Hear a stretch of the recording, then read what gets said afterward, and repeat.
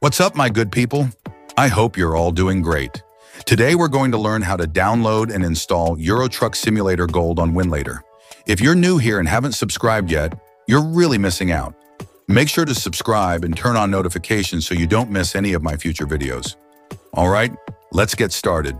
Open your browser and search for Winlator for Mali. Choose the first result at the top and click on it. This version of Winlator is made for Mali and Helio processors. Perfect if you were having problems running ETS2 on Winlator in my previous video. It will take you to GitHub. Scroll down until you find releases. There you'll see the latest version. Click on it and you'll find several download options. Select the first one, winmaliglib.apk. The download will start. Wait until it finishes completely. It's about 600 megabytes. When the download is done, install the app. If Play Protect warns you that the app might be unsafe, just tap More Details and choose Install Anyway. The installation will take a few seconds, depending on your phone. Once it's installed, open Winlator from your app's menu.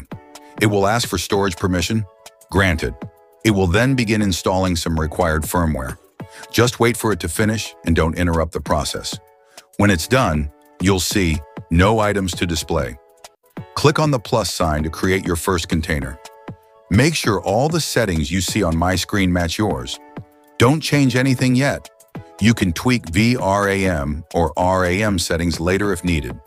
Then click the check mark to create your container.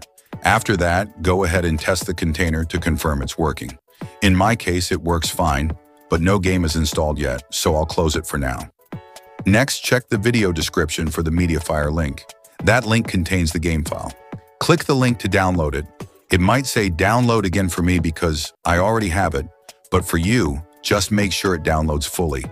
When the download finishes, open your File Explorer and use Zarchiver. The link is also in the description. Long press the game file, choose asterisk copy asterisk, and paste it into your preferred folder. I'll paste mine into the Winlator 2 folder. Now the file will ask for a password. Don't panic. Just watch the full video carefully to get the password. Once you enter it, the extraction process will begin. Wait for it to finish and make sure you have enough storage space before extracting to avoid any errors. When extraction is complete, open the Winlator app again. Confirm that your container is still configured and then tap Run Container.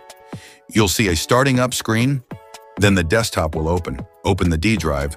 This is your download folder. Find the folder where you extracted the game Open it and locate the game.exe file.